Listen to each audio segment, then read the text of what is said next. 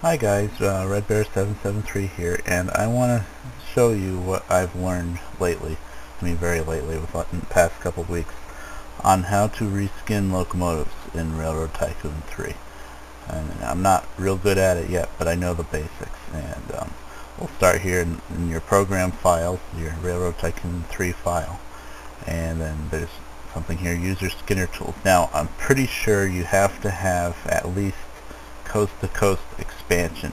That's 1.05 for this to work. You can get that easily from hawkdawg.com or even that one you can get from the game website because that came from the game PopTop. And um, so here's you can also do uh, company logos and player portraits. I don't really I haven't tried to do anything with that yet.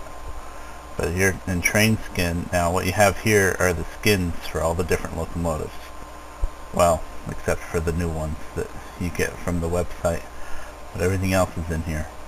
And that's the applications. We won't be using that quite yet. First we have to decide what locomotive we're going to do.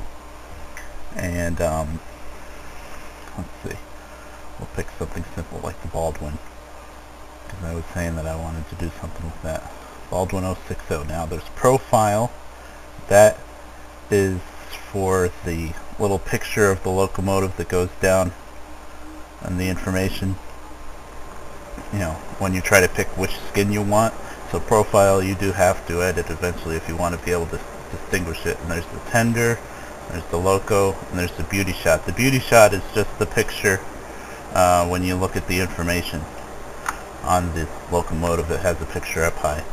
So that one you really usually don't have to touch but let's start with the loco. Now, what you need is you need a photo editing software that can handle .tga.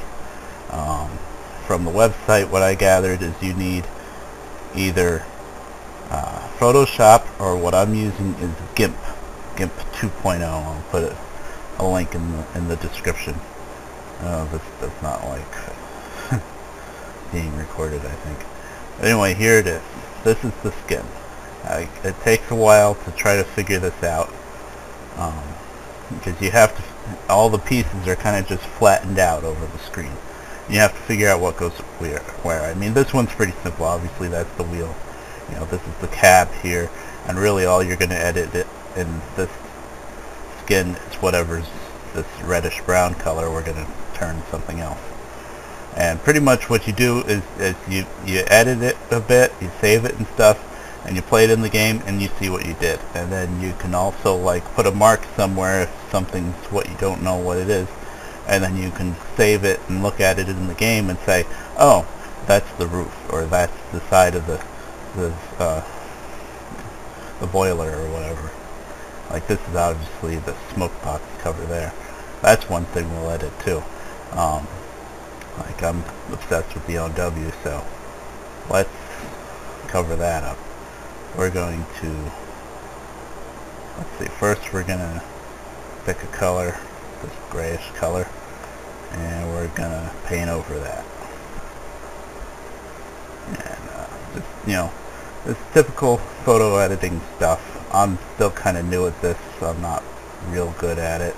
I'm very blocky like see I don't really know how to blend that too well.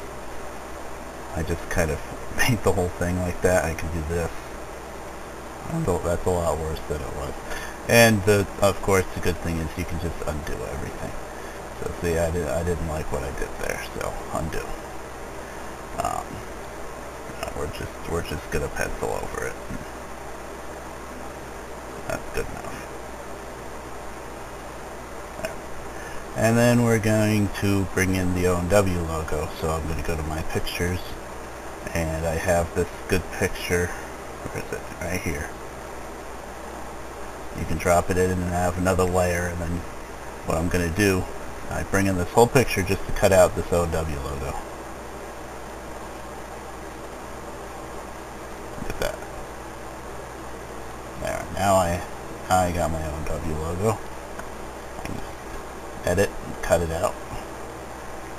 And then I can delete that whole layer. I don't need it anymore paste Now I have to shrink it down. See, it's, way too big. It needs to be probably more than halfway down. So you go to scale layer and it's at 48 by 48 49 now. Let's try what half would be 24. You just got to play with things a lot and just remember anything you do yeah it needs to be a little smaller anything you do can be undone oh see look what I just did I just deleted it for no good reason. There. Okay. Now scale layer um, that's 24 let's try. I think it usually ends up like 18 19 there. Right in the middle.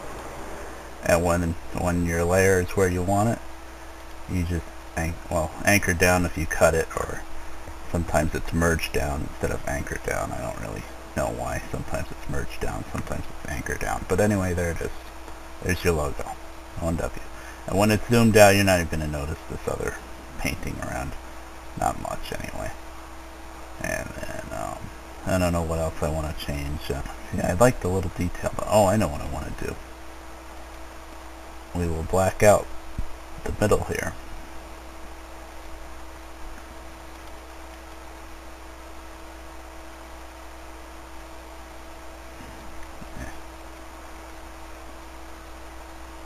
Shorter brush strokes.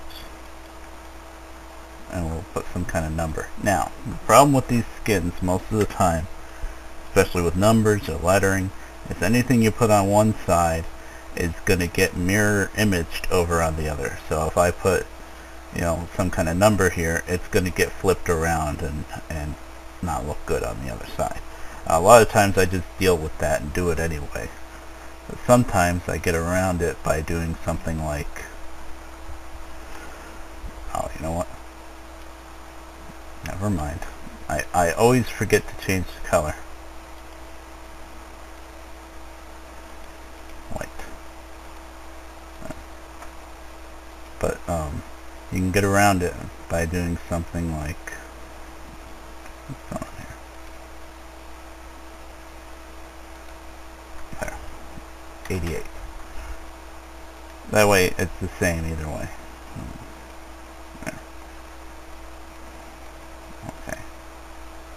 And once again we have to shrink it down. Well, not by much, just a little bit. Whoa, do not do that. You don't want to move the whole big layer around. I don't know if anything really happens, but it's, not something that I would do. and we're going to scale it down. Let's see, we're at 21 now, maybe 18. 19. See, just a little bit. Put it in the middle, maybe a tiny bit more.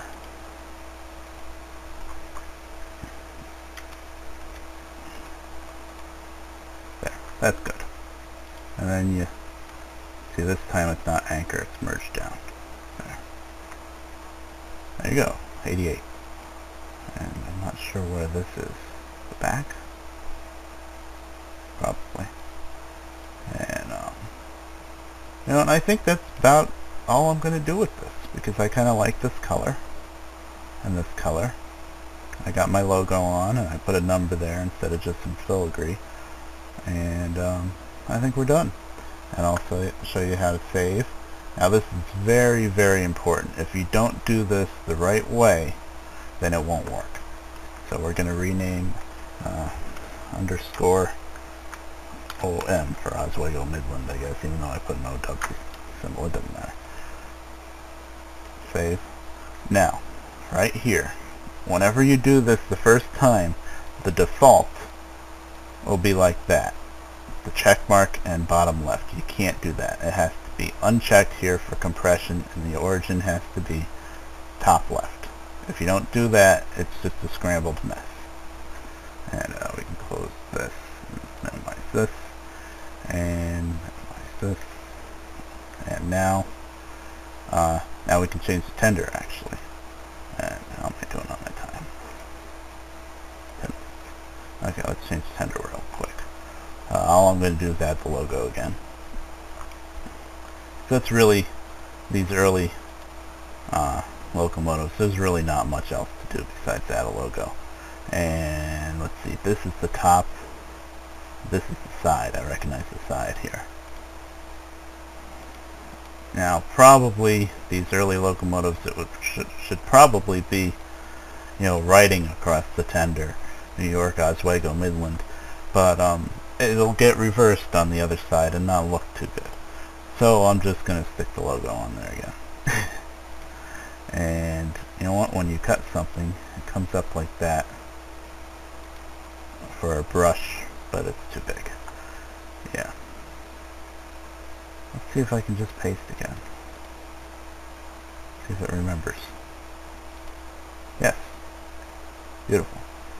And we're gonna resize the outlier it's called and 48 we're pro it's probably 18 again. Oh, that's pretty small. Let's see. Might be able to go a little bigger again. Yep. go 25. There. That looks pretty good. Well, maybe three. There. You'll just move it around to where you want it. It, I mean, it might look like I know what I'm doing right now, but it took me a long time to get this far. You know, I spent night after night on this for a while. Back when I wasn't making L my LP for a couple of days, that's what I was doing. And then you just anchor layer. And there you go. I think that's all I'm going to do. And we're gonna we're gonna save it and tender underscore the the program that makes the skins does not like spaces so you gotta put in underscores Yeah. Once you uncheck this and move this once, then it remembers until the next time you start up the program. But I tell you, I spent probably a day trying to make skins and not knowing why it wasn't working because I had that compression thing checked.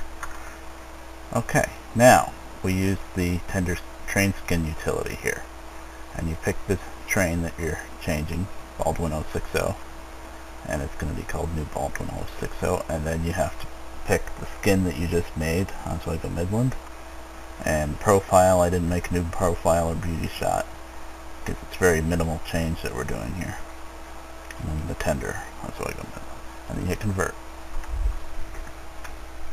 That takes a couple minutes. And turns it into a PK4 basically and sticks it in the user extra content folder okay now let's see what it looks like I will be right back and I'm back, and look what I did. Here's the Baldwin. Here's the default skin. There's the green, the one that I already had, that you know somebody else made that I found. And there's the skin. there's the profile picture that I put on.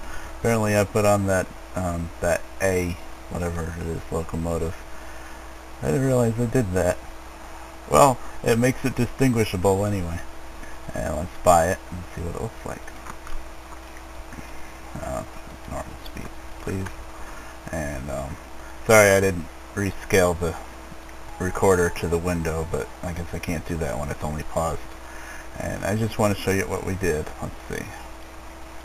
Yeah, let's get through this area. Um, uh, you, can, you can barely even see the O and W because it's blended in with the gray and then you've got the, the red headlight thing and everything else. But it's there. It's right there. And there's the 88 under the window and it gets reversed but it doesn't matter because it's just a couple eighths and there's the little O and W on the side of the tender I guess we could have gone bigger but then we would have wiped out some of the rivets there that's what happens with skinning though is you end up losing detail in order to change things well I do anyway because I'm not that much of an artist but anyway I like it like this with the little O and W logo uh, very simplistic very nice And we're all done here. Alright, I will see you next time uh, on something else.